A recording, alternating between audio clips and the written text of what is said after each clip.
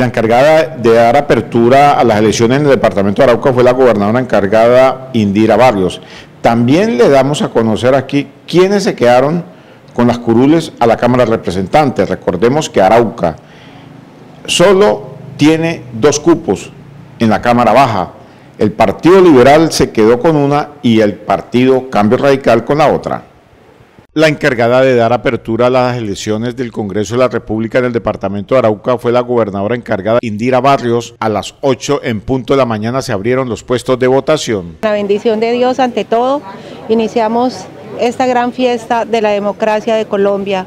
Esperamos que transcurran totalmente calma en todo el departamento, toda vez que ha sido ardua la tarea en equipo con todas las instituciones responsables para que esta fiesta se dé de la mejor manera en el departamento. Invitarlos, invitarlos a que salgan a votar desde muy temprano por, los, por sus candidatos de preferencia, que lo hagan de corazón. Hay que elegir bien, hay que elegir a los que nos van a representar en la Cámara Alta.